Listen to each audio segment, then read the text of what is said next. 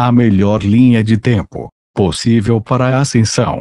O Conselho Arcturiano da Nona D, através de Daniel Scranton. Saudações. Somos o Conselho Arcturiano. Apreciamos nos conectar com todos vocês. Você despertou em seu interior uma linha de tempo para a ascensão. Você determinou para si mesmo a melhor cronologia de percepção. E agora é uma questão de atualizar essa linha de tempo. Uma coisa é criar algo, e outra é experimentá-lo. O processo de despertar é aquele que envolve experimentar um pouco do que você não deseja. Você experimentou o que não quis ao longo de centenas de vidas no planeta Terra. Ou seja, a maioria de vocês experimentou o que não quis ao longo de centenas de vidas no planeta Terra. Nem todos vocês tiveram o mesmo número de vidas neste planeta, ou neste universo. Agora, enquanto você recebe as informações de todas as suas vidas,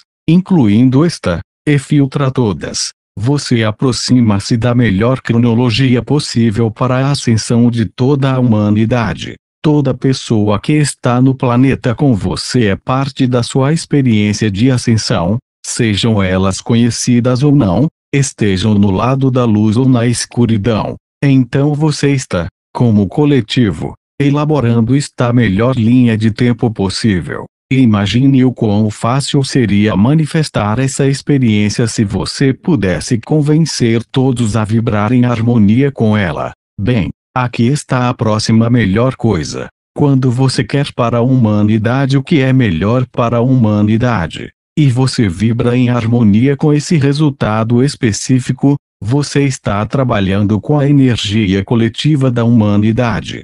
Se o restante de seus grupos humanos sabe disso ou não, existe uma melhor linha de tempo possível para a ascensão, e eles são a favor disso no nível de seu eu mais elevado. Isso significa que eles estão contribuindo com energia e desejo de estar nessa linha de tempo. Você pode aproveitar isso. Você pode sentir a melhor linha de tempo possível para a ascensão, e com a energia coletiva da humanidade. Você pode trazê-la. Quanto mais você faz isso, é certamente melhor.